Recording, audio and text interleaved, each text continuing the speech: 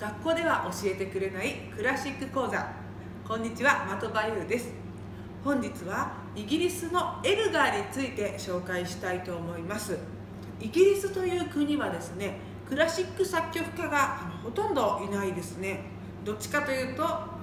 ビートルズとかあとまローリング・ストーンズとかクイーンとかですね。なんかロックのスターがたくさん生まれた国というイメージなのですがその中でも、えっと、クラシック作曲家のイギリス人というとエドワード・エルガーですね。この人は「愛の挨拶と威風堂々」で有名です。愛の挨拶。タタタタタタタタタタタタタタタタタタタちょっと歌が落ちすぎて今ちょっと気分はデクレッシェンドだったんですけどこの曲とか有名だしあとはあのおそ、えっと、お寿司じゃないやあの、えっと、卒業式でね流れますね「威風堂々」なんかが有名ですタタタタタ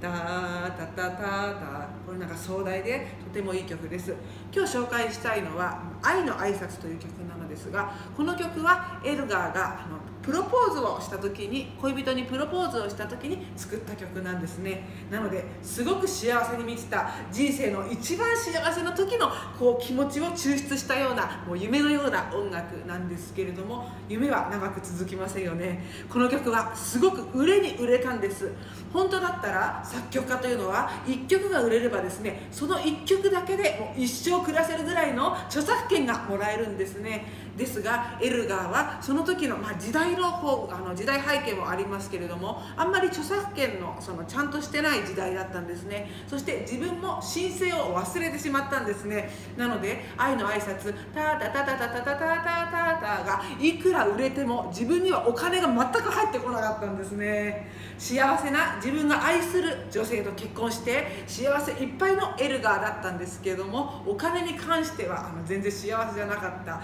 ということでちゃんと申請をしていればそして著作権のそのちゃんとその、えー、とそれがちゃんと今の時代みたいにですねしっかりしていればもうもうお金をたくさんもらえたあの億万長者になれたのにあのなれなかったエルガーというのが私はすごく可愛らしいなと思いますね。やっぱりお金よりも愛ですよね。皆さんってまあ言いたいですけども。でもお金は大事だよですね。